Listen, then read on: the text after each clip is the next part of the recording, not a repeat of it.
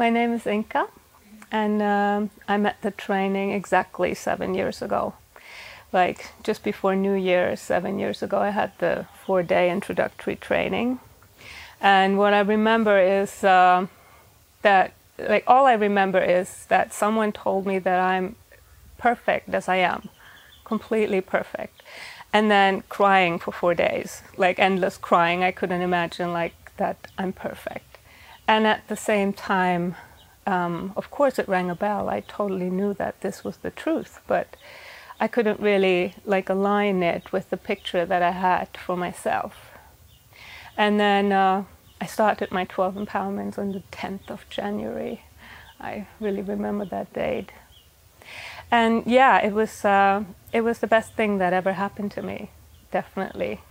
And um, yeah, the life before that, like I sometimes don't even really relate to that anymore, like to the feelings that came along with it. But I remember that it felt like a constant struggle.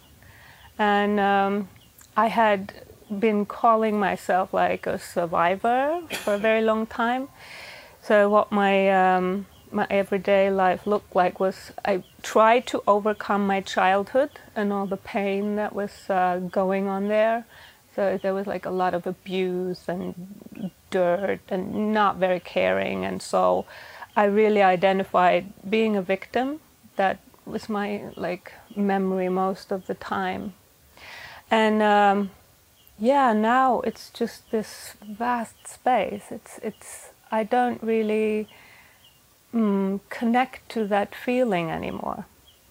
And um, I was just thinking about this this morning. I had a walk at the beach, and um, I just felt so so cheerful and so open, and I was smiling, and whatever happened, and nothing. I, I needed nothing, and that is something that I experience very often nowadays. That I'm just completely fine, and perfect as I am, and I really don't need anything, and that is amazing, and. Uh, I've been looking into the faces of some people that I was crossing, and I could totally see myself in them, like when they like looking at the the the ground and and and being like a little bit like this, or maybe having this morning not well being, or I don't know, thinking about especially like in Arambol, I remember I felt so uncomfortable so often because. Uh, like yeah all these like happy people and i thought I, I really should be happy and everybody is so beautiful and wild and free and that's exactly what i wanted being a hippie and yes and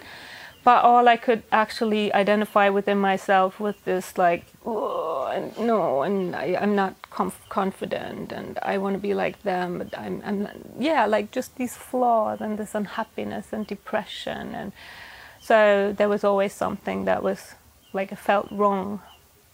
And um, yeah, now it feels like I really have the best life. And when I look at you all, it's it's I feel so completely connected with every one of you, and it's like being in a big family, like the family life that I never had as a child, and I always wanted, but I didn't even know how it would feel like, so I kind of romanticized it and also feared it because I knew it came along with like so much pain. And uh, yeah, there's no pain going on here at all, but just gentleness and love and connection and service. And yeah, it's just so beautiful. And um, yeah, during the years, I, I also like everything has come up, everything like all the depression that was there, all like the social anxiety, the self hatred, very much like in these seven years. But in this flowering, I always knew that it was fine that it came up. It's just really getting real with everything. And now it feels like I'm not afraid anymore. I'm not afraid of facing life. I'm not afraid of my thoughts, of my emotions. I just um, I wrote an email to my trainer yesterday, and it was about a conflict that I have with a colleague, and uh, I detect that there's like some bitterness in me, like towards her, and um, I wrote an email to her, like a draft of an email, and it said some, it was something like, "You hurt me, I want to hurt you too," I wrote it, but I didn't send it. But instead, I sent it to my trainer, and um, I said, like, wow, look at that. These are like the the yucky thoughts I have in my head, and I can now just like write it with a smile because I don't identify with it. It's just a thought. It's just an emotion that I have, and the most important thing is that I don't send it to my colleague, but I said, okay, I, I just will. I will just wait until I'm open again because I can also totally to relate to her behavior, and I love her very much. And just like when this is in the foreground, I know that then I can start to react and approach her again.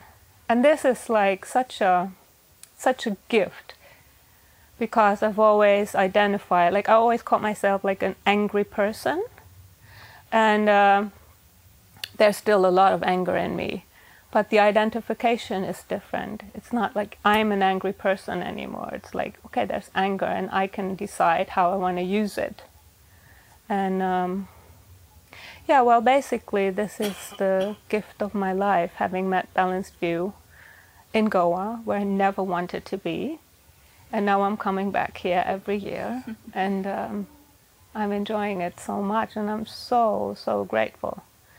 I'm so grateful for the training. I'm so grateful for the time that I am allowed to like flower in my own in my own power and beauty and. Uh, there is never like a certain way it has to look, but whenever I think, oh, I'm not doing it good enough or I'm too slow, all I'm being met here is with like, well, it takes the time it takes for you and it's perfect. So, like, the initial I'm perfect as I am is just being reflected to me again and again and again.